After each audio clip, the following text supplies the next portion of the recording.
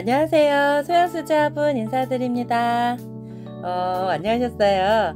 어, 오늘은 어, 우리 구독자님들 중에 많은 분들이 어, 제가 영상이 워낙 길이가 길어서 채색하는 시간이라던가 화분 만드는 시간이 길어서 제가 한 번에 올려드리기가 너무 어려웠어요. 보통 채색만 3시간, 4시간짜리를 제가 20분에서 30분 사이에 넣어서 드리고 했거든요.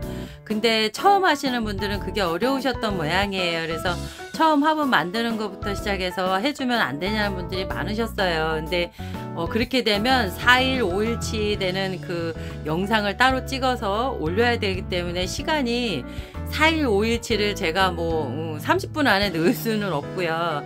어, 그래서 제가 망설이다가 요번에 처음으로 풀 영상을 한번 찍어보자 해서 한 4일에 걸쳐서 찍었고요. 어, 하루 지금 편집하고 녹음하고 해서 한 5일 걸렸어요. 근데 그거를 또 5일치를 또 5일 시간에다가 넣자고 하니 또 보시는 분들이 지루해서 막 날릴 것 같아서 제가 한 시간에 어떻게 넣어보자 해서 지금 진짜 이런 악마의 편집은 처음이에요. 어, 지금 5일치 작업한 거를 지금 어, 56분 37초 안에 담았어요. 자, 최대한 빠른 배속이 4배속이라 4배속으로 담았고요. 자, 지금 보시면 화분 처음에 만드는 형태 만드는 거 코일링 작업해서 올리는 거 해서 보여드리고 있고요. 화분 다 만들고 나면 거기에 이제 순서대로 제가 작업하는 걸 보여드릴 거예요. 어, 제일 처음에 이렇게 화분 형태를 만들고 그 다음에 그 화분이 반건조 된 상태에서 제가 화장토를 바를 거고요. 화장토를 바르고 나면 또 반건조된 상태에서 제가 도안을 음, 조각을 할 거예요. 근데 그 도안을 조각하기 전에 예전에는 제가 스케치 영상을 음, 안 올렸어요. 왜냐하면 스케치 영상이 시간이 오래 걸리기 때문에 그래서 요번에는 스케치 영상도 다 들어갈 거고요. 그리고 조각하는 모습 그 다음에 조각해서 말린 다음에 채색하는 모습까지 해서 채색까지 완성하는 풀 영상을 제가 56분 37초 안에 넣어 드릴 거예요. 와 지금 5일치 작업한 거를 편집하는데 죽는 줄 알았어요. 자 보시는 분들은 음 한, 한 시간이 금세 가도록 제가 어, 부지런히 제가 편집을 하고 해서 보여드릴게요. 자, 코일링 작업 아시죠? 음, 이렇게 흙가래를 해서 어, 길게 손으로 밀어서 말아준 다음에 어, 한 단 한 단 쌓아서 내가 원하는 높이까지 쌓아서 올리시면 됩니다. 지금 제가 쓰는 흙은 동영토고요. 어, 제일 처음에 흙을 먼저 고르실 때 동영토나 어, 분종토 같이 어두운 흙은 보통 라인을 그냥 그리, 어, 조각을 하고 그 상태만으로도 충분히 라인이 따지기 때문에 그렇게 하는 어, 그림 작업을 하기 위해서 동영토랑 분청토를 쓰고요. 그렇지 않고 어, 밝은 색상이 좋다 하시면 어, 300토나 뭐 다른 흙 청자토나 백자토나 일반 밝은색 소지를 쓰실 수 있으세요. 근데 그런 흙들은 어, 한 번 더 라인을 진하게 해주는 작업이 필요해요. 그래서 상감 작업을 하거나 라인을 직접 그리시거나 아니면 음, 흑유 닦기를 해서 라인을 까맣게 해주는 작업이 필요합니다.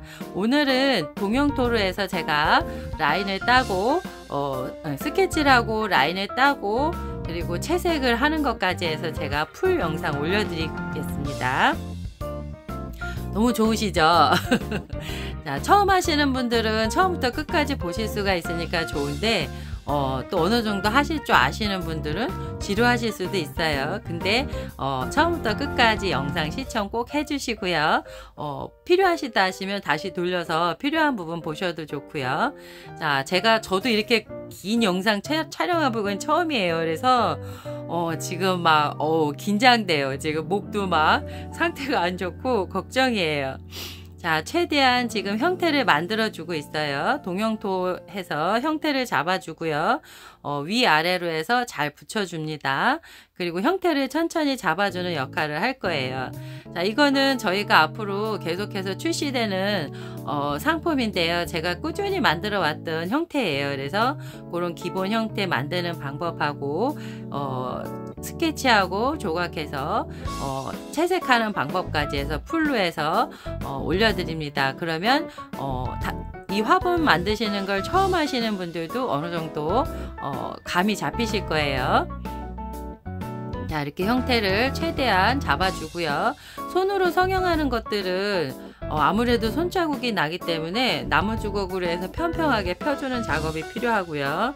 그리고 제가 많이 쓰는 어, 나무 주걱으로 해서 톡톡톡 두들겨서 면을 깔끔하게 어, 빼주는 작업도 필요합니다. 그리고 이렇게 지금 하는 것 같이 흙을 최대한 안쪽으로 쫀쫀하게 모아줘서 형태가 틀어지지 않도록 최대한 어, 쫀쫀하게 잡아주는 역할을 하고 있습니다. 자 이렇게 해서 기본 형태는 잡아줬어요. 이제 어 요거를 손 작업을 최대한 편편하기 위해서 이렇게 나무 주걱으로 해서 이렇게 어, 톡톡톡톡 두드려 줍니다. 너무 세게 두드리지 마시고요. 살살 톡톡톡톡 이렇게 두드리시면 어, 면이 손자국이 쫙쫙 났던 면이 어, 꼼꼼하게 편평하게 펴집니다. 어, 이렇게 해서 톡톡톡 두드려 주고요. 형태를 손으로 잡아줍니다. 자, 지금까지 어려운 거 없으셨죠? 음, 제가 제일 기본적으로 많이 쓰는 화분들이고요. 형태고요. 그리고 제일 기본이에요. 이런 것들은요. 어, 그래서 제가 알려드리는 이런 기본적인 거 어렵지 않은 거 이렇게 보여드리고 있어요. 근데 이런 것들이 하나하나 쌓여서 연습하시다 보면 금세 어느새 저보다 훌쩍 넘어서는 어, 그런 작업들을 하실 수 있을 거예요.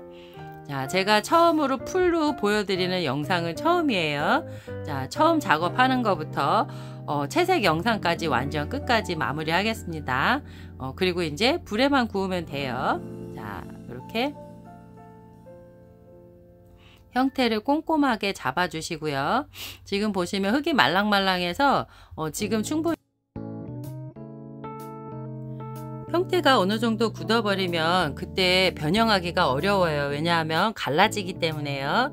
그렇기 때문에 말랑말랑할 때 충분히 형태를 꼼꼼하게 잡아주시고요. 다리 부분은 이렇게 일자로 음, 코일링을 해서 내가 원하는 길이만큼 해서 잘라서 한쪽 면을 깔끔하게 이렇게 다듬어 줍니다.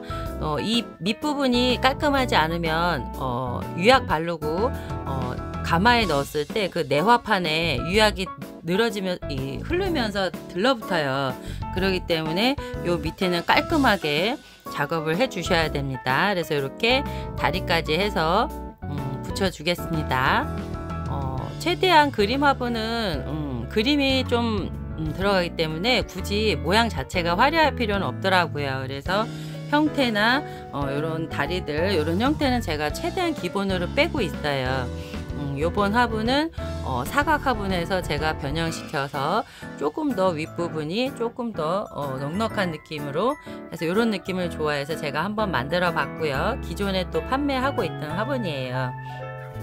자, 요번엔 요 화분을 제가 만들어 보겠습니다. 그리고 자, 이제 다리를 붙여줄 거예요.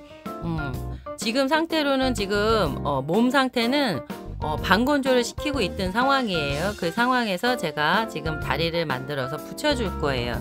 방건조된 몸체를 어, 뒤집어서 거기다가 다리 달아줄 건데 음, 지금 약간 방건조됐어요. 근데 이걸 바로 뒤집으면 어, 밑에가 찢어져요. 그래서 안에다 에어캡을 넣어서 어, 그 안에 에어캡이나 뭐 이런 휴지 이런 걸 넣어서 어, 버팀목이 돼줄 수 있도록 이렇게 채워주고요. 뒤집은 다음에 다리를 달아주겠습니다.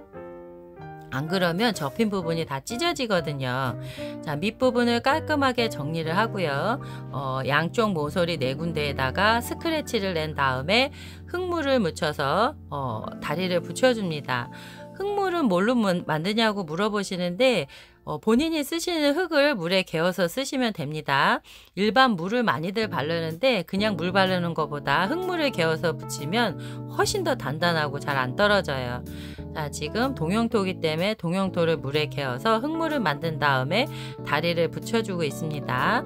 그리고 얇게 코일링을 해서 다리를 붙여주시는데 이렇게 감아서 어, 위아래로 붙여서 꼼꼼하게 붙여주시면 훨씬 더 다리가 어, 단단하게 붙여집니다. 이게 귀찮다고 안 하실 수 있는데 그러면 잘, 잘, 어, 잘한다 해도 똑 떨어질 수가 있어요. 그래서 귀찮아도 이렇게 콜링 작업을 꼭 해주시고요.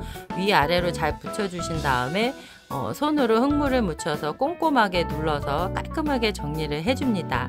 그런 다음에 물 스펀지로 꼼꼼하게 흙을 닦아주시면 다리 부분 완성입니다. 그리고 어, 팁을 하나 드리자면 다리를 붙일 때 다리가 안쪽으로 붙으면 중심이 잘 안 서요. 다육이 심었을 때 찐득찐득 하거든요. 그래서 어, 중심을 잘 잡기 위해서는 다리가 바깥쪽으로 향하게 살짝 벌려주셔야 돼요. 이렇게 사방 모퉁이에 있는 이 다리를 살짝 살짝 해서 바깥쪽으로 살짝만 벌려주세요. 그러면 불에 구웠을 때도 어, 이렇게 화, 화초를 심을 때도 충분히 버팀목이 돼서 어, 안정적으로 할 수가 있어요. 다리가 3개짜리여도 그렇게 살짝 밖으로 어, 다리를 붙여주시면 훨씬 더 안정적으로 화초를 심을 수가 있습니다. 자 이렇게 마무리하면 다리 부분은 완성이에요. 자 다리 부분도 미리 만들어 놨다가 하셔도 돼요. 자 지금 이게 막 흔들리죠. 제가 막 어, 이 카메라를 막 들이받나 봐요. 막, 막 열심히 하다 보니까 그런지도 몰랐어요. 자, 이렇게 다리를 최대한 꼼꼼하게 발라주시고요. 자, 이제 어, 위쪽에 있는 안쪽에 있는 에어캡을 뺀 다음에 안쪽에를 다시 다듬어 줍니다. 이게 에어캡이 부드러운 건 괜찮은데 좀 까칠까칠한 것들은 이렇게 형태가 변하더라고요. 그래서 안쪽에를 다시 이렇게 꼼꼼하게 다시 물스펀지질로 잡아주고요. 깔끔하게 다시 어, 비닐 자국 났던 거를 지워줍니다. 이렇게 마지막으로 싹 다듬어 주시고요. 어, 마지막으로 형태 다시 잡아주시고 그 다음에 다리 부분 옆에서 이렇게 앞에서 보시고 옆에서 보실 때 다리가 아까 말씀드린 것처럼 바깥쪽으로 살짝 나와 있는지 어, 그래서 이렇게 충분히 중심을 잡을 수 있는지 확인해 봐 주시고요. 그 다음에 높이도 딱 맞춰서 이렇게 꼼꼼하게 체크를 해 봅니다. 형태는 다 잡아 주었고요. 이번에는 화장토를 바르겠습니다. 어, 화분이 반건조된 상태까지 기다렸다가 화장토를 발라 주시고요. 어, 붓을 바를 때 어, 처음에는 좌우 바르는 거는 상관없어요. 근데 어, 마지막에 한 번씩 훑어 주셔야 되거든요. 한 방향으로. 자, 붓을 아, 자, 처음부터 끝까지 앞에 앞 그러니까 밑에서부터 위에까지 해서 한번 훑어 주셔야 돼요. 그러려면 붓을 떼시면 안 돼요. 그러니까 이게 화장토가 많이 부분 많이 발린 부분이 있고 적게 발린 부분이 있거든요. 그래서 그거를 골고루 펴주는 작업이에요. 붓을 떼지 마시고 아래서부터 위로 끝날 때까지 쭉 아니면 위에서 아래로 쭉 붓을 떼지 마시고 어, 골고루 발릴 때까지 이렇게 돌려서 어, 화장토를 발려줍니다. 이 화장토가 이게 돌가루가 있는 이것도 흙가루예요 말하자면 그렇기 때문에 어, 좀 얼룩덜룩해지거나 많이 겹쳐 발릴 수가 있어요. 그래서 어, 그거를 천천히 펴주는 작업을 해서 꼼꼼히 해서 어, 펴줍니다. 그리고 나서 방건조를 해주세요. 그리고 나서 음, 그동안에 그게 방건조 되는 사이에 저는 스케치를 하는 걸 보여드리겠습니다. 아, 스케치는 트레싱 종이라고 해서 기름 종이 같은 건데 약간 베끼는 종이 같은 그런 종이가 있어요. 근데 이거를 음, 여기다가 화분 사이즈에 맞춰서 이렇게 트레싱지 잘라 주시고요. 그 안에다가 제가 넣고 싶은 그림을 넣는 거예요. 자 이렇게 지금 3면을 그림을 넣을 거기 때문에 가운데 부분 체크해주고 위치를 해주고 있고요. 자 여기 어, 보통 하얀 도화지에다가 A4 용지에다 그려서 옮기셔도 되고요. 저는 그냥 이 어, 트레이싱지에다가 바로 그림을 그릴 거예요. 근데 어, 저는 지금 보시면 제가 해바라기를 넣을 거거든요. 자, 제가 그냥 기본적으로 형태를 이렇게 스케치를 합니다. 제가 그리고 싶은 그림을 바로 넣을 수도 있는데요. 어, 지금 스케치 형태를 보여드리고자 해서 제가 스케치 하는 걸 먼저 보여드려요. 어, 기본적으로 하시는 분들은 처음에 이렇게 트레이싱지에다가 먼저 이렇게 그림을 그리신 다음에 화분에다 옮기시면 돼요. 그게 화분이 반건조 상태일 때 그렇게 옮기시면 어, 이렇게 그림을 한번 그리고 나중에 화분에 대고 다시 이거를 그리면 어, 연필 자국으로 해서 선이 묻어나거든요. 그러니까 어, 형태가 조금 파이거든요. 그래서 그걸 보고 다시 그리시면 돼요. 저는 그냥 어, 숙달이 돼서 지금은 그냥 바로 조각을 하는 게 편한데 어, 그게 또 더 재미가 있고요. 근데 처음 하시는 분들은 그게 어려우니까 이렇게 트레이싱지에다가 본인이 원하는 그림을 그리세요.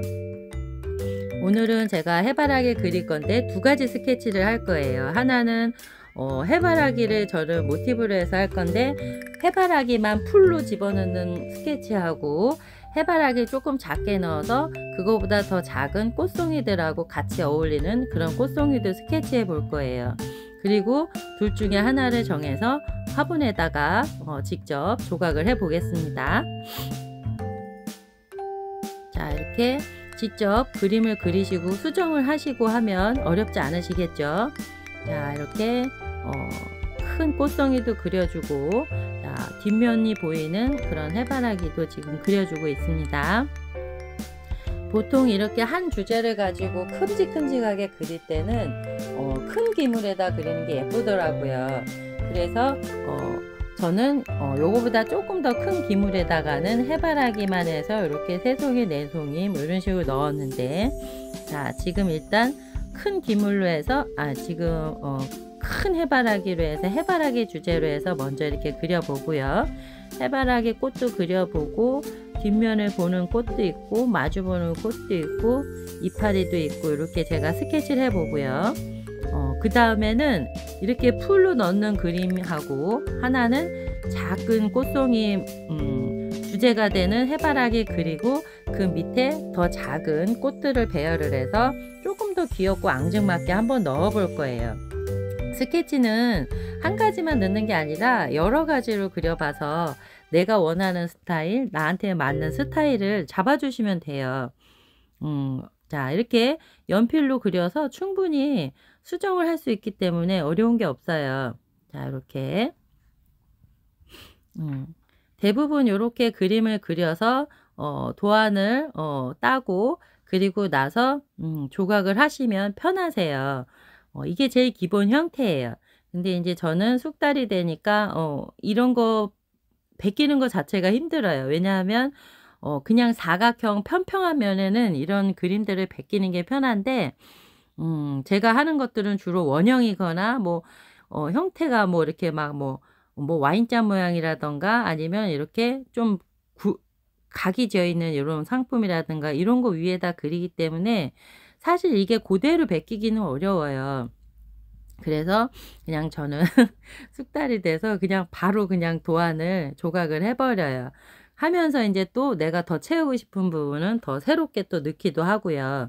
어, 그게 어, 개인 수제 화분의 어, 재미인 것 같아요. 묘미이기도 하고 어, 또 특징이면서 장점이기도 한 것 같아요. 근데 이제 어 간혹가다 똑같이 그려주세요 이러는 분들이 계세요. 어 근데 이건 수제 화분이라 절대 똑같지 않더라고요. 이걸 베껴도 본인이 그린 그림을 본인이 베껴도 그 다음에 나오는 그림은 똑같지 않더라고요. 선 하나를 그려도 다르고 채색을 해도 같은 색을 칠해도 그때그때에 따라서 색감이 깊이감이나 이런 게 달라요. 그래서 수제 화분은 같은 게 하나도 없어요. 근데 간혹가다 이제 주로 세트로 하시는 분들이 똑같이 해주세요 그러는데 어 제가 지금 이거 일부러 보여드리는 건데 똑같이 나오지 않는다는 거 어느 정도 비슷하게 나오는데 똑같이는 어려워요. 자 이렇게 자 아이고 잘 안 맞춰지네요. 자 이렇게 full로 가득 채워서 넣을 건데요. 아구 어지러워. 아 이것도 커팅을 했어야 하는데 이게 빠졌네요. 자 일단은 이렇게 full로 넣는 거를 한번 해봤는데 어, 저는 조금 답답한 것 같아서 full로 넣는 거는 사실 저는 큰 기물에 넣거든요. 자 그래서 다시 스케치를 변형을 해볼 거예요. 다시 그릴 거예요. 자 똑같은 해바라기인데 제가 작게 그려보고 밑에다가 작은 꽃송이들을 또 배치해 볼게요. 이것도 스케치할 때 재미예요. 음, 한 가지만 하는 것보다 그런 느낌도 재미있어서요. 그리고 화분도 보시면 화분 자체가 수제 화분이라 손자국이 많이 묻어 있어요. 그러다 보니까 그림도 어, 너무 답답한 것보다는 약간 아기자기하고 이런 게 또 맞을 것 같아서 스케치를 다시 변경해 보겠습니다. 자 다시 그려요. 자 조금 더 해바라기를 작게 그릴 거고요. 그 밑에 어, 해바라기 꽃송이는 아까랑 비슷하게 그릴 거예요. 그리고 아래에다가 조금 더 작은 플록스 꽃을 제가 배치를 할 거예요. 자, 이렇게 해바라기를 넣고요. 자, 스케치는 자꾸 연습을 해보면 늘어요. 이게 어렵다고 하시는데, 어, 이거는 방법이 없어요. 스케치는 내가 자꾸 연습을 해봐야지, 어, 바로 직접 그림을 그릴 수도 있고, 바로 조각을 할 수도 있거든요. 이거는 연습만이 살 길이에요. 자, 이거는, 아, 저더러 그림을 다른 분들보다 조금 더, 음, 그림을 잘 넣는데요. 음, 뭐라 그럴까. 그림이 화분에 어느 정도 안정감 있게 구도도 잡아주고, 형태도 굉장히, 어, 꼼꼼하게 잘 넣는다 하시더라고요. 근데 그거는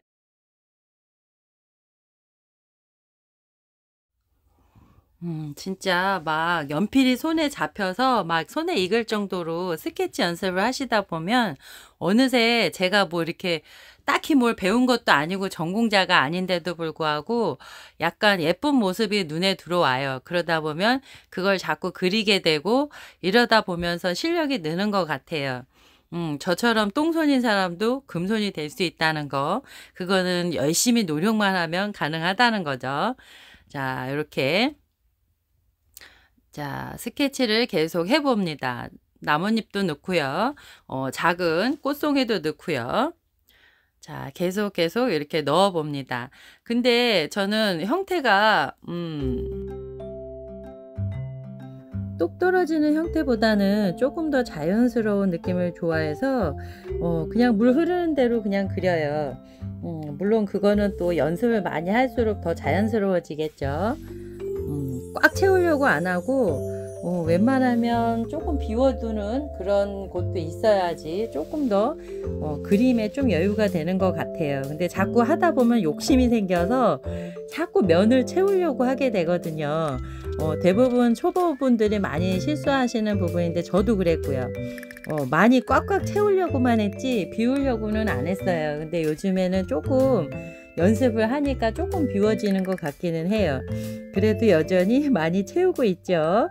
자, 이렇게 작은 플록스 꽃을 귀엽게 몇 개, 몇 송이 이렇게 넣어줍니다. 자, 이렇게 넣으면 어, 화분 자체가 크지는 않아서 앙증맞을 것 같아요. 큰 꽃도 있고 작은 꽃도 있고 음, 그렇게 보여지다 보면 나비도 있고 그러다 보면 굉장히 어, 화분이 정감 있는 화분이 될 것 같죠. 자, 스케치는 연습만이 살 길이라는 거. 자, 그리고 어, 이렇게 스케치를 넣어 어, 흙 만약에 시기를 놓쳐서 어, 흙이 방건조 상태가 너무 말라서 너무 마, 말랐다 싶으시면 그때는 조각하는 걸 포기하셔야 돼요. 왜냐하면 화장토가 너무 많이 많이 마르면 깨져버리거든요. 그럴 때는 조각을 하려고 애쓰지 마시고 음, 흙을 바짝 어, 화장토를 말리신 다음에 거기다가 어, 이 도안을 대고 그리는데 그때는 밑에다가 먹지를 대고 그리셔야 돼요. 그렇게 해서 도안을 어, 벗겨낸 다음에 어, 라인을 붓으로 직접 그리시는 방법이 있어요.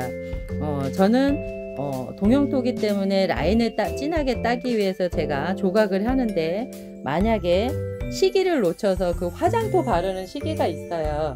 화장토 반건조된 상태에서 바르는데 화분 윗부분 전 부분이라 그러는데 거기가 너무 마른 상태에서 화장토를 바르면 전 부분이 위에서 아래로 쩍쩍 갈라져요.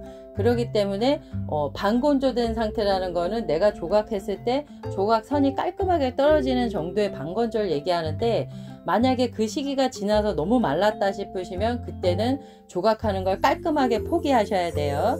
그러면 아예 그냥 바짝 말려서 어, 라인을 직접 그리시는 방법으로 선택을 하셔야 됩니다. 이 시기라는 게 굉장히 중요해요. 음, 시기를 놓치지 마시고 반건조 상태일 때 어, 조각을 했을 때 깔끔하게 선이 떨어질 정도로 반건조일 때 어, 그럴 때 음, 어, 선을 이렇게 그리시고 조각을 하셔야 된다는 거 화장토 바르는 시기도 마찬가지예요 화장토 바르는 시기도 어, 반건조돼서 흙이 어느 정도 약간 단단해졌을 때 그리고 손에 어, 화장토가 묻어나오지 않을 정도 됐을 때예요. 근데 화분은 윗부분이 항상 먼저 말라요. 전 부분이 얇기 때문에 화분 윗부분이 먼저 마르니까 그 부분이 너무 딱딱하다 싶거나 너무 말랐다 싶으시면 아예 어, 화장토 그 마른 다음에 그림을 직접 어, 베껴서 라인을 그리시는 방법으로 수정을 하셔야 돼요. 이 화분은 수제 화분은 그 시기라는 게 있는데 시기를 못 맞췄을 때는 내가 자꾸 끊임없이 제대로 된 상품이 나오도록 연구를 해야 돼요. 그 시기를 놓쳐버리면 깨져버리거나 아니면 갈라져 버리거나 아니면 제대로 색이 안 나오거나 형태가 틀어지거나 여러 가지 형태가 생길 수 있기 때문에 그거는 어 많이 해볼수록 그 느낌을 공감을 하실 수 있을 거예요. 자, 어느 정도 수정이 다 됐어요. 자, 아까 그림하고 어때요? 느낌이 다르죠? 아까는 해바라기가 큼직큼직하게 있어서 시원시원한 느낌이었다면 꽉 찬 느낌이고요. 이번에는 작고 앙증 맞으면서 귀여운 느낌이 나고 아기자기한 이야기가 있는 것 같고 그리고 아까보다 꽉 찬 느낌이 아니라 조금 더 비워지면서 조금 더 뭐랄까 그림이 조금 더 숨을 쉴 수 있는 그런 그림 같은 느낌이 나죠. 자 이거를 직접 화분에다 조각을 했을 때 어떻게 나오는지 자 이제 거진 다 완성이 됐어요. 스케치는요. 자 이렇게 하고 그 다음에 해보겠습니다.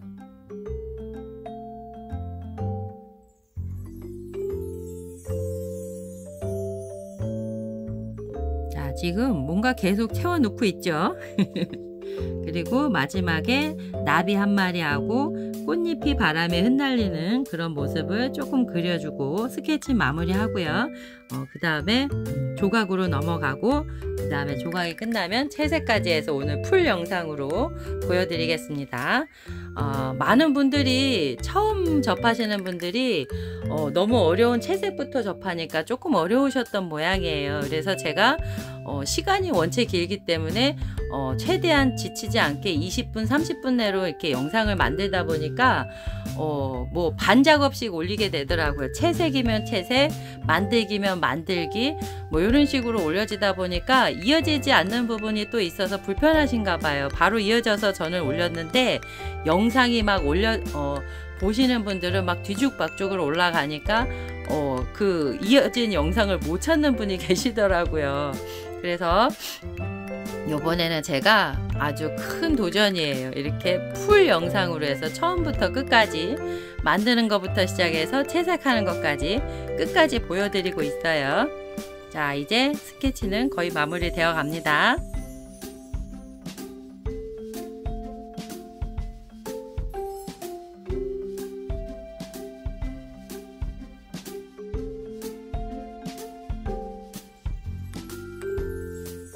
자, 이렇게 제가 처음 도전해 본 full 영상인데요. 어, 어떤 게 좋은지는 저도 모르겠어요.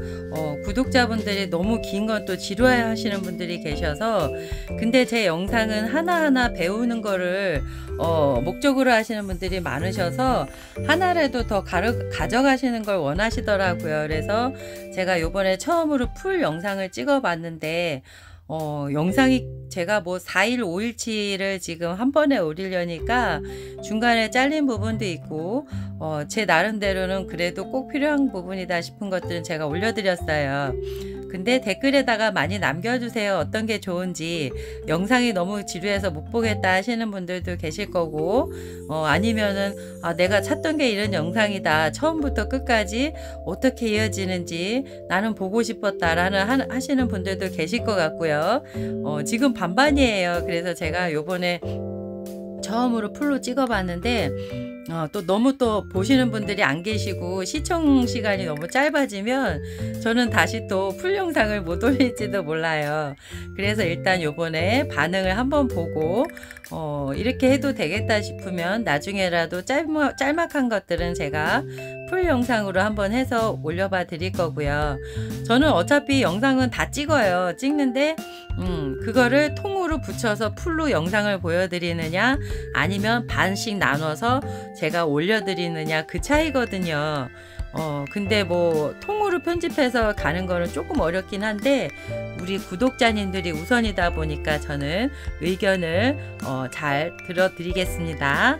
자, 이번에는 보세요. 제가 아까 먼저 그렸던 거하고 어, 지금 나중에 그렸던 거하고 비교해 보니까 나중에 그렸던 그림들이 훨씬 더 음, 이 화분하고 느낌이 맞는 것 같아서 이걸로 하기로 했어요. 자, 처음 하시는 분들은 이렇게 되고요. 어, 흙이 반건조 상태이기 때문에 그대로 벗겨 이렇게 그리시면 어, 연필로 그린 자국이 어, 흙에 남아요. 그래서 그거를 따라서 조각을 하시면 됩니다. 이렇게 그려서 형태를 이렇게 연필로 다시 그려주세요. 그러면 어, 화분에 새겨져서 나와서 그걸 보고 조각을 하시면 됩니다. 지금 조각으로 넘어가는 부분이에요. 자 이렇게 어렵지 않으시죠? 근데 이게 지금 편평하지 않아서 조금씩 어, 면이 똑바로 그려지진 않을 거예요. 어, 정 그렇게 힘드시면 어, 꽃 한 송이 한 송이 그리셔도 돼요. 한 송이 그려서 이렇게 벗겨내시고 그 다음에 조각하신 다음에 다음 꽃송이를 어, 벗겨서 조각을 하시고 이렇게 한 송이씩 하셔도 되고요. 아니면 내가 최대한 벗길 수 있는 부분을 벗기고 나머지는 어, 그 부분만 해서 이렇게 하시면 돼요. 자, 저는 두 가지를 이렇게 조각을 했어요. 송곳하고 샤프예요. 아, 송곳은 제가 주로 많이 썼던 송곳인데 어, 끝에가 뭉툭해서 제가 좀 갈아서 썼어요. 그리고 요거는 샤프예요. 샤프에 샤프심 없이 그냥 샤프만으로도 이렇게 쓰거든요.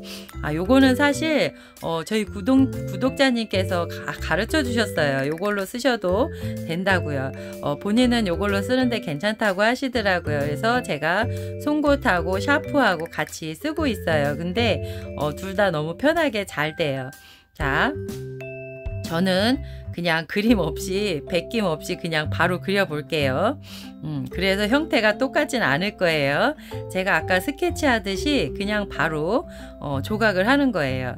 조금 더 이렇게 살살 한 다음에 어, 깊이감 있게 조금 더 다시 라인을 진하게 넣어줄 겁니다. 지금 이렇게 바로 스케치하고 있어요. 여러분들은 어, 아까 그렸던 그 종이를 대고 먼저 그림을 그리신 다음에 어, 요흙 위에 라인이 묻어나오는 모양을 따서 어, 바로 조각을 하시면 돼요. 자, 저는 이렇게 해서 바로 조각을 넣어 보겠습니다. 어, 조각이라는 거는 굳이 거창할 거는 없어요. 조금 깊이 파고 싶다 하시면 깊이 파시면 되고 어, 약간의 선만 있어도 괜찮다 하시면 살짝살짝 넣으셔도 됩니다. 자 이렇게 라인을 넣고요. 어, 이 동용토기 때문에 흙 자체가 어두운 색이기 때문에 화장토를 발라주고 그 위에 조각을 해주면 그것만으로도 이 라인이 살기 때문에 따로 라인을 그리시거나 만드실 필요가 없으세요. 근데 300토나 백자토나 청자토 같이 흙이 밝은 색일 때는 라인을 어, 해주셔야 할 필요가 있어요. 그래서 흙상감 작업을 해주시거나 아니면 흙유 닦기를 해주시거나 아니면 붓으로 직접 라인을 그리시는 방법이 있습니다. 그리고 이렇게 흙이 어두운 색 동영토나 분청토나 이런 흙들은 이렇게 화장토를 바르고 라인을 따는 것만으로도 어, 라인이 진하게 보여져서 어, 깔끔한 그림이 마무리가 됩니다. 자 이렇게 꽃잎도 그려주고 안에 이렇게 어, 꽃이 되는 부분이 있는데도 이렇게 그려주고요. 이파리 그려주고 아까 보셨던 작은 플록스 꽃도 넣어주겠습니다. 자 지금 순서들 잘 보고 계시죠? 자 화분을 어떤 형태로 만들지 어떤 스타일의 그림분을 넣을지 그거는 먼저 흙 선정을 먼저 하신 후에 결정을 하셔야 돼요. 흙이 밝은 색인지 어두운 색인지 어두운 색이면 화장토를 바르고 라인을 이렇게 조각해 주시면 되고 밝은 색일 경우에는 흑상감이나 어, 흙유 닦기나 라인을 직접 그려주거나 해서 라인을 그려주는 방법이 있습니다. 음, 지금 저는 그림분을 설명드리고 있어요. 일반적으로 꽃 코사지 분이나 색 유약 분은 또 다르겠죠. 자 이렇게 거의 최대한 비슷하게 그리고 있습니다. 지금 요거는 세트로 제가 그림을 그리고 있는데요. 어, 보시다시피 그냥 제가 조각을 하는 거라 완전 똑같을 수는 없어요. 선 하나하나 그냥 제가 느낌으로 봐서 그리는 거라서 어, 완전 달라요. 자, 그래도 느낌은 비슷하게 나올 거예요. 자, 이렇게 하나하나 라인을 그려주고요. 조금 더 진하게 파주시면 조금 더 진한 라인이 나올 거예요.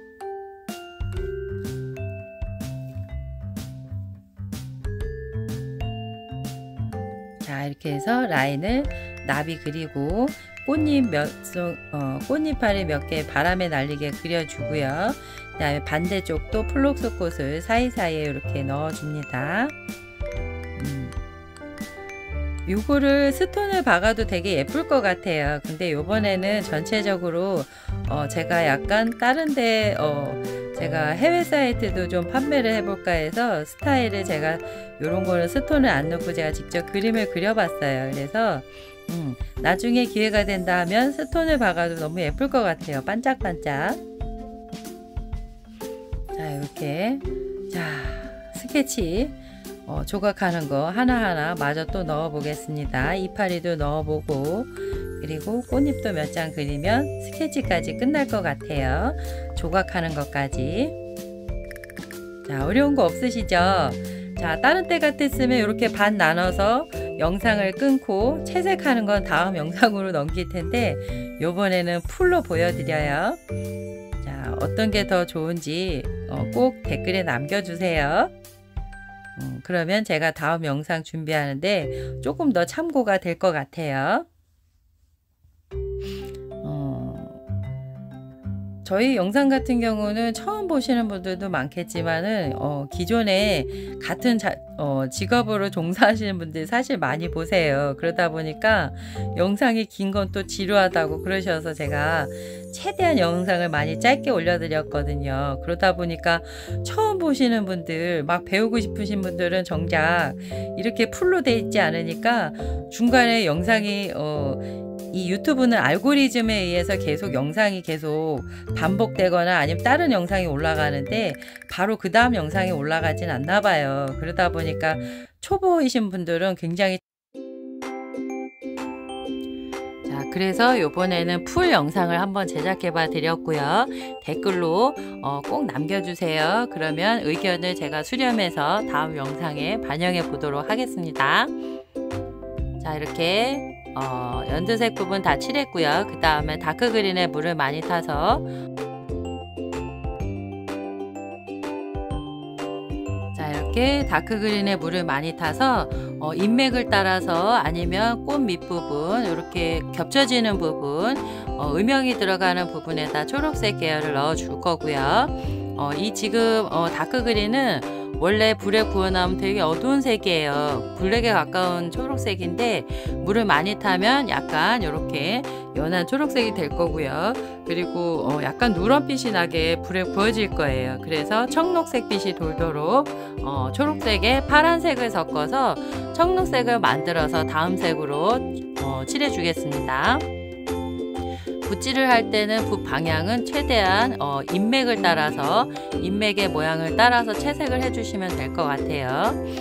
한 면 한 면 채색하신다고 생각하시면 될 것 같아요. 처음 하시는 분들은 어, 조금 어려우셔서 면으로 보실 텐데 음, 조금 해보신 분들은 덩어리로 보실 거예요 아마 덩어리 덩어리로 해서 큰 덩어리를 어, 나눠준 다음에 채색을 조금 더 진하게 들어갈 부분을 찾아주시고 그렇게 채색해 주시면 될 것 같아요. 지금 청록색이에요. 파라, 어, 초록색에 파랑색을 섞어서 청록색으로 만들었고요. 요거는 불에 구워 나오면 조금 진한 청록색 초록초록 느낌 날 거예요. 처음에 불에 구웠을 때 제일 당황스러운 색이 초록색이에요. 이 초록색은 날아가지 않으면 누런 국방색이 되거나 아니면 잘못하면 까맣게 타들어간 초록색이 될 수 있거든요. 제일 많이 어려워하시는 게 이 초록색이에요. 이 도자기 물감 중에 어려운 색깔이 이 초록색이에요. 저부터도 마찬가지였고요. 그래서 지금은 단계별로 들어가고 있습니다. 밝은 색, 중간색, 어두운 색. 그랬더니 어, 색깔이 뭐 검게 나오든 뭐 탄듯하게 나오든 누렇게 나오든 어쨌든 톤이 이렇게 다르다 보니까 느낌은 어, 아 이게 나뭇잎이구나 이, 런 느낌이 나도록 구워 나옵니다. 자, 이 색은 어두운 색이기 때문에 다 집어넣으시면 안 돼요. 그림 어, 나뭇잎 부분에서 포인트 되는 어두운 부분 위주로만 칠을 해 주셔야 돼요. 안 그러면 불에 구웠을 때 새까만 쑥덩이 같이 나오거든요. 그래서 최소한의 어, 꼭 필요한 부분을 위주로 해서 어두운 부분을 채색해 줍니다.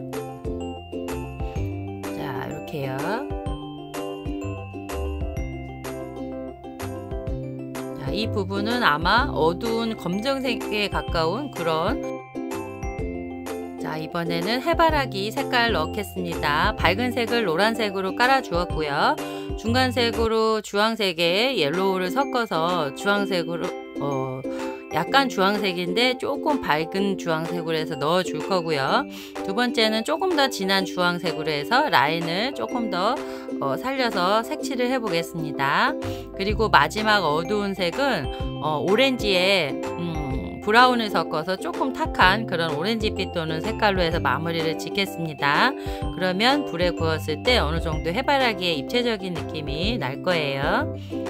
자 이렇게 꽃잎 안쪽 부분하고 어, 그 다음에 꽃잎이 겹쳐지는 부분 음영이 지는 부분을 따라서 색칠을 해 주시고요. 마지막에 가운데 꽃 가운데 음, 수술 부분은 약간 갈색 짙은 갈색하고 블랙에 가까운 갈색을 해서 넣어 주겠습니다. 자 지금은 주황색 이렇게 해서 넣어 주고요. 조금 더 진하게 주황색을 좀 더 진하게 해서 쓰고 어, 그렇게 해서 중간 톤까지 마무리하고요. 다음 꽃도 다시 똑딱, 똑같이 주황색에 yellow를 섞어서 중간색을 섞어주기도 하고요. 아니면 조금 더 이 꽃송이는 진하게 넣고 싶어서 제가 이쪽 오른쪽 꽃송이는 주황색을 바로 채색을 했어요. 그래서 주황색에 물을 많이 타서 이렇게 밝은색 중간색으로 넣어 주었고요. 제일 어두운 색으로 brown을 섞어서 진하게 넣어 주겠습니다.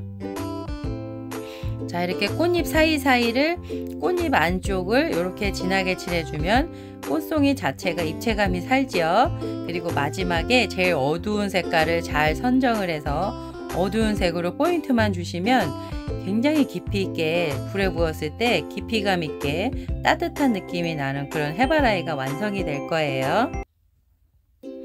자 이 해바라기는 어, 뭐 행운을 가져다 준다는 말도 있고 그 다음에 재물, 어, 재물운이라 그럴까요? 집안에 황금운을 불어다 준다 그래서 굉장히 인기가 많은 꽃이에요. 그래서 그런지 저는 원래 어려서부터 이렇게 해바라기를 담장에 많이 키워서 심어봤기 때문에 어, 저는 추억인데 어, 또 구매하시는 분들은 또 그런 어, 꽃말 때문에 또 많이들 구매하시더라고요. 어, 그냥 저는 이 느낌이 해바라기가 너무 좋아요. 자 이렇게 붓질을 하면 할수록 이 붓질이 어, 불에 구웠을 때는 굉장히 깊아, 깊이감 있게 나온다는 거. 자 이렇게 귀찮아도 붓질을 자꾸 해주셔야 돼요. 아, 수제 화분이 원래 손이 많이 가잖아요. 그래서 수제 화분은 가격도 일반 화분 찍어내는 화분에 비해서는 굉장히 가격이 고가예요. 근데 그게 왜 그러냐면 하나하나 찍어내는 게 아니고 일일이 다 수작업으로 다 해야 되기 때문에 비쌀 수밖에 없는데요. 어, 제 화분은 다들 보시더니 어, 처음에는 와 고급지다 가격이 세겠는데 이러셨다가 나중에는 아유 그럴만하네 이러시더라고요. 아유 야 이거는 이 정도 정성이면은 이 정도 가격 받아 갖고는 안 된다는 막 그런 말씀들도 많이 하세요. 아 그래서 이제는 아 인정을 받는구나. 내가 열심히 한 만큼 우리 구독자님들이 아, 알아봐 주시는구나. 이렇게 어, 이런 느낌이 들더라고요. 응원해 주시는 분들도 많고 어, 조금 더 앞으로도 더 좋은 어, 발전해 나가는 그런 소양수자분이 되라고 응원해 주시는 분이 굉장히 많으세요. 어, 그래서 제가 힘이 나고 열심히 또 해야 되겠다는 그런 각오를 또 다져봅니다. 어, 그래서 제가 팔이 빠지도록 아파도 열심히 이렇게 붓질을 해요. 어, 다른 분들 아마 저처럼 붓질 이렇게 많이 하는 분들 안 계세요. 어, 그만큼 정성이 제가 많이 들어가서 어, 거기에 비하면 진짜 가격은 일반 소비자분 가격보다 제가 또 어, 20%에서 30% 저렴하게 드리기 때문에 다들 만족하시더라고요. 그래서 요즘에는 음, 제가 아, 이 소형수자분이 사랑을 많이 받고 있구나 이런 느낌을 제가 많이 받고 있어요. 자 지금 마지막에 어두운 색깔 쓰고 있어요. 블랙 아, 아니 브라운에 오렌지 섞었는데 굉장히 진하죠? 여기다 더 포인트 주고 싶으시면 어, 오렌지보다는 어, brown을 조금 더 진하게 쓰셔도 돼요. 자 이제 막 어, 마무리가 많이 됐어요. 자 이렇게 조금 더 깊이감이 다르니까 자, 요 색깔만 들어간 것만으로 봐도 해바라기가 조금 더 깊이감이 있죠. 이게 불에 구워 나오면 색이 굉장히 깊이감이 있어서 너무 고급스러워요. 자, 이렇게 음, 귀찮아도 자꾸 이렇게 붓질을 해주셔야 돼요. 어두운 부분을 찾아서 음영을 꼭 넣어 주셔야 어, 한 꽃잎 한 장 한 장이 살아있는 듯하게 그렇게 불에 구워 나올 거예요. 이렇게 사이사이 어두운 부분 찾아주시고요. 자, 이렇게 깊이감 있게 살아있는 듯하게 이렇게 꽃을 넣어 봅니다. 자, 이렇게 깊이감 있게 채색을 하면 불에 구웠을 때 깊이감이 나지만 어, 또 한편으로는 화분에 심었을 때요. 어, 이 화분 자체가 꽃인데 또 꽃하고 심으면 더 잘 어울려요. 이게 참 희한하죠. 어, 떤 분들은 아, 화려, 화분이 너무 화려해서 꽃이 어, 죽는 거 아니냐 느낌이 막 어, 그러는데 저희 단골 손님들은 아세요. 이게 화분이 이렇게 고급져 보여도 식물 심어 놓으면 훨씬 더 이뻐요. 이거는 와 확실히 진짜 식물하고 더 잘 어울리는 게 화분인 것 같아요. 자 이렇게 꽃수술 부분도 진하게 블랙에 어, 레드 섞어서 블랙빛 붉은색 또는 갈색으로 해서 이렇게 어, 수술 부분을 이렇게 넣어 줄게요. 자, 요게 꽃송이가 좀 밝게 수술 부분에 빼주고 싶으시면 약간 연노랑빛도 들어가고 어, 이렇게 갈색빛보다는 약간 초록색빛이 어두운 청색빛 이런 느낌이 나도록 칠해 주시면 되는데 저는 그냥 해바라기 하면 이런 느낌이 C 같은 느낌 이렇게 진한 이런 까만 느낌이 좋아서 저는 이렇게 표현해 보겠습니다. 자 이렇게 톡톡톡 두들겨서 해주고요. 어, 그리고 나서 작은 플록스꽃 가운데만 좀 마무리해서 채색하면 어, 마무리가 될 것 같아요. 음, 제가 지금 이게 어, 굉장히 편집하는데도 엄청 오래 걸렸어요. 이게 영상이 엄청 긴 거고 또 며칠에 걸쳐서 칠한 어, 영상을 찍은 걸 지금 제가 계속 커트 커트 하면서 지금 다시 이어가면서 붙이기 때문에 굉장히 어렵더라고요. 이번에 시간이 너무 많이 걸렸어요. 와, 그래도 어, 우리 구독자님들 어, 끝까지 다 시청해 주실 거죠? 제가 굉장히 이번에 노력 많이 했어요. 자, 이렇게 칠해주고 그 다음에 플록스 꽃 가운데 노란 부분에다가 어, 지금 제가 화분을 두 개 갖고 칠을 하거든요. 그래서 아마 조금 헷갈리실 수도 있으세요. 노란 플록스꽃 사이에 가운데에다가 어, 이거는 남색이에요. 지금 파란색으로 보이시죠? 요거는 남색이에요. 불에 구워 나오면. 그래서 남색에 물을 많이 타서 가운데 어두운 부분을 칠해 줄 거고요. 마지막에 빨 자, 이렇게 남색을 어, 플록스꽃 사이에다 칠해 주고요. 그 다음에 마르면 그 위에 빨간색으로 해서 마무리 짓겠습니다. 그러면 약간 불에 구워놨을 때 보랏빛도 돌고 붉은빛도 돌고 약간 푸른빛도 도는 약간 그런 예쁜 색이 될 것 같아요. 어, 뭔가 뜬구름 잡는 것 같죠. 어, 근데 저는 불에 구워봤기 때문에 약간 그런 색이 나올 거라는 거를 어, 짐작을 하고 있습니다. 자 이렇게 해서 풀록스꽃 음, 붉은색까지 칠해서 마무리 할 거고요. 그 다음에 나비 색칠하고 그 다음에 꽃잎 한 장 한 장 바람에 날리는 걸 칠하고 나면 어, 마무리가 되네요. 자 이렇게 빨간색이 들어가니까 또 다르죠. 어, 이게 불에 구워 나오면 또 색이 달라요. 자 이렇게 자꾸 구워보고 색깔을 연구해 봐야 될 것 같아요. 색깔은 굉장히 무궁무진한 것 같아요. 이게 어, 그 원 색만 쓰지 말고 어, 섞어서 쓰는 것도 굉장히 재미있는 것 같아요. 자, 오늘 주, 제가 준비한 영상은 어, 요 영상이 끝나면 마지막입니다. 아유, 감사합니다. 제가 또 다음에 음, 새로운 것도 열심히 노력해서 어, 준비해 보겠습니다. 풀 영상이 좋은지 반반 영상이 좋은지 꼭 댓글에 남겨주시고요. 자, 제가 오늘은 조금 일찍 인사드릴게요. 이 영상 끝까지 봐주시고요. 어, 맨날 인사도 다 못 드리고 그냥 끝나버려서요. 제가 일찍 인사드립니다. 자, 끝까지 영상 시청해 주시고 다음에 더 좋은 영상으로 찾아뵙겠습니다. 고맙습니다. 수야...